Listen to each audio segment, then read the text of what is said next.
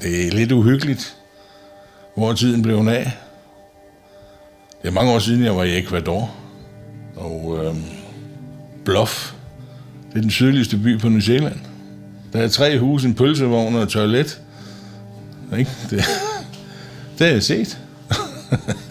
set. Set, hvordan folk de bliver behandlet. Hvordan folk de lever. Hvordan, og endda nogle af dem, som jeg synes, der, der levede kummerligt, de var lykkelige.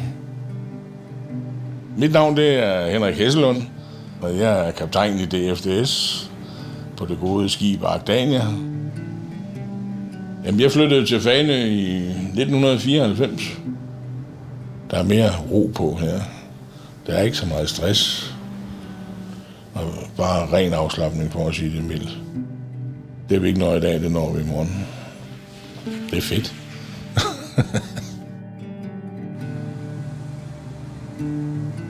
altså, jeg går nok lidt mere op i mit job, end jeg gør i skibe.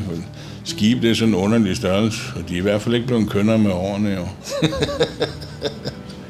Jobbet, det er jo nok spændende, mere spændende i sig selv, i og med, at det er jo altid spændende at have med mennesker at gøre. Du har jo ansvar for de mennesker, der er ombord, når vi er ude at sejle. Jeg kan huske, vi havde en tur med Futura der, da vi var nede ved, ved Somalia og sådan noget der, ikke? Og øh, jo, vi havde da hørt, at der var skive, der var blevet kaber og sådan noget der, men der kommer det der frem i, i panderynkerne med det samme, ikke?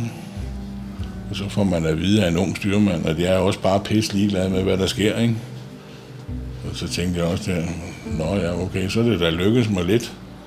Ikke at se bekymret ud i hvert fald. For det er da noget, jeg tænkte meget på, da vi lå og sejle rundt dernede. Hvis det nu skulle ske, hvad gør man så? Det er en skrækkelig tanke. Men min tid i DFDS, den går lidt længere tilbage. Det startede som dækstreng i 69. De første tre uger, det var nok ikke værd at skrive hjem om. Jeg var skrækkelig søsyg.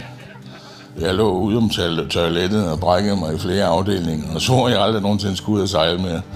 Men det er da heldigvis glemt nu, og jeg har faktisk ikke været søsyg siden. Så det er jo meget godt, jo, når man nu har det job, man har, ikke?